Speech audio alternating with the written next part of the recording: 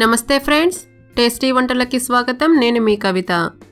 Tasty వంటల్లో ఇవాళ recipe కార్న్ఫ్లెక్స్తో సింపుల్గా స్నాక్ ఎలా ప్రిపేర్ చేసుకోవాలో ఇవాళ చూద్దాం. సరే మరి కాలుష్యం చేయకుండా దీనికి కావాల్సిన పదార్థాలు ఏంటో ఒకసారి చూద్దామా?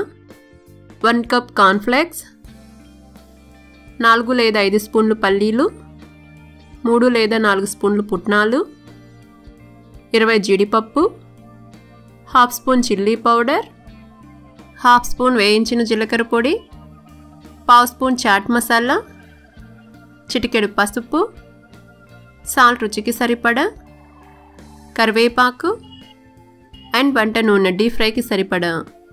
దీనికి కావాల్సిన పదార్థాలు ఏంటో చూసాము కదా ఇప్పుడు తయారీ విధానం చూద్దాం. కడాయిలో డీప్ ఫ్రైకి సరిపడా ఆయిల్ వేసి వేడి చేసుకోండి.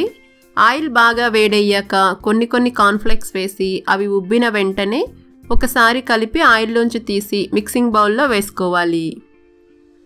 ఆయిల్ బాగా వేడయ్యాక ఆయిల్కి సరిపడ మాత్రమే కాన్ఫ్లెక్స్ వేసి వేయించుకోండి. ఆయిల్ సరిగా కాగకుంటే కాన్ఫ్లెక్స్ సరిగా వేగవు తినేటప్పుడు పంటికి అంటుకుంటూ ఉంటాయి.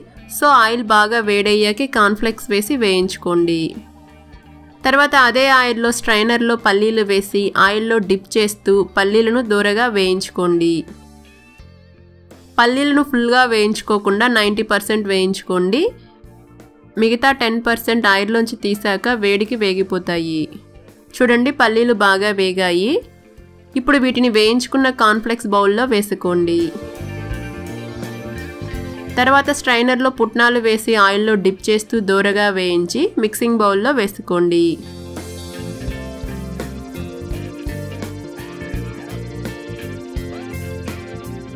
ఇప్పుడు స్ట్రైనర్లో స్లైస్డ్ జీడిపప్పు వేసి ఆయిల్లో డిప్ చేస్తూ దూరగా వేయించి కార్న్ఫ్లెక్స్ బౌల్లో వేసుకోండి.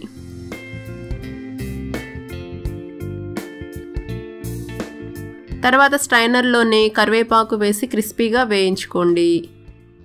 కరివేపాకును ఆయిల్లో డిప్ చేసేటప్పుడు చిటపట అని ఆయిల్ మీద పడే ఛాన్స్ ఉంటుంది. సో జాగ్రత్తగా వేయించి కరివేపాకు క్రిస్పీగా వచ్చాక బౌల్లో వేసుకోండి.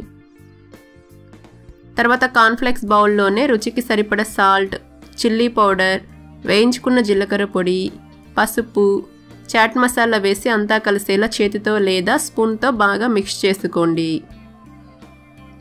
పొడులన్నింటినీ మీ టేస్ట్కు తగ్గట్టు మీరు తీసుకునే కాన్ఫ్లెక్స్ క్వాంటిటీని బట్టి అడ్జస్ట్ చేసుకోండి. పిల్లలు కారం ఉంటే తినరు కాబట్టి నేను చిల్లీ పౌడర్ తక్కువ వేశాను. మీరు మీ టేస్ట్కి తగ్గట్టు పొడులు వేసుకోండి. చూడండి అన్ని పొడులు బాగా కలిశాయి. వీటిని మూత టైట్గా ఉండే డబ్బాలో స్టోర్ చేసుకున్నామంటే ఫిఫ్టీన్ టు ట్వంటీ డేస్ వరకు ఆయిల్ వాసన రాకుండా ఫ్రెష్గా ఉంటాయి. వీటిని పిల్లలకు స్నాక్స్ లాగా పెట్టచ్చు. ఇవి చాలా టేస్టీగా ఉంటాయి. పిల్లలు చాలా ఇష్టంగా తింటారు. చూసారు కదా ఫ్రెండ్స్ ఎంతో టేస్టీ అండ్ ఎంతో ఈజీగా కాన్ఫ్లెక్స్తో స్నాక్ ఎలా ప్రిపేర్ చేసుకున్నామో? మీరు కూడా ఈ రెసిపీని ఒకసారి ట్రై చేసి మీకు ఎలా కుదిరిందో మీ వాల్యుబుల్ ఫీడ్బ్యాక్ని కింద కమెంట్ బాక్స్లో కమెంట్ చేయండి. అలాగే మీకు ఈ రెసిపీ నచ్చినట్లయితే మీ ఫ్రెండ్స్కి మీ ఫ్యామిలీ మెంబర్స్కి మీ రిలేటివ్స్ అందరికీ షేర్ చేయండి. Thank you